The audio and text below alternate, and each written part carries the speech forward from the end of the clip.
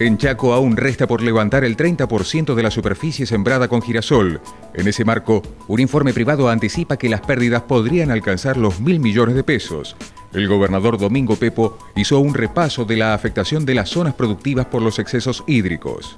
Sabemos que hay una cantidad importante de viviendas que fueron afectadas prácticamente en su totalidad y todo lo que es la parte de Vilela, como también la laguna de María Cristina, Villa Forestación y los distintos sectores que fueron afectados, explicarle cuál fue la situación del Chaco, cómo se desplazó este fenómeno, cómo está actuando y el nivel de afectación, la cantidad de afectados y los daños que están causando en el sector social, en el sector productivo y económico de nuestra provincia.